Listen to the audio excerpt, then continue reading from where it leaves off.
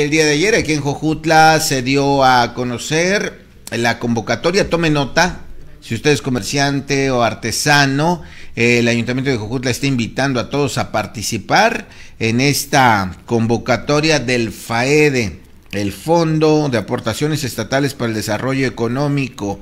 Ahí usted se inscribe, mete un proyecto, se inscribe, dice usted yo necesito pues un horno, necesito una batidora, necesito un vehículo, lo que sea y si su proyecto califica, usted con el 20% va a obtener ese, esa herramienta, ese equipo, ese insumo.